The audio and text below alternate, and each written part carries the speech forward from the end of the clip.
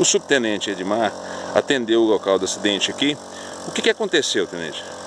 Ah, o que nós conseguimos apurar aqui no local do acidente é que o veículo, é, o caminhão saía de uma estrada vicinal, ao adentrar na rodovia, o veículo Montana que seguia sentido Luz a Dores do Indaiá não conseguiu frear, é, colidindo no caminhão e em seguida parando na pista nesse acidente aí, resultando em quatro vítimas, sendo duas fatais e duas crianças com ferimentos graves que foram socorridas pelo SAMU ao Hospital de Luz. E corre risco também de, de morrer? Até agora as informações que nós tivemos, uma das crianças teve traumatismo craniano e ia ser transferida para Belo Horizonte.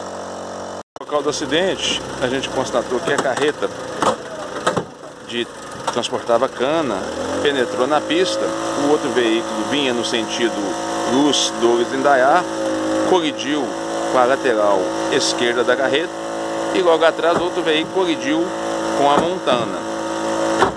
Como a gente apurou aqui, duas vítimas fatais, duas crianças que estão em estado grave no hospital de Luz. A perícia está tentando determinar as causas do acidente aqui ocorrido nessa estrada.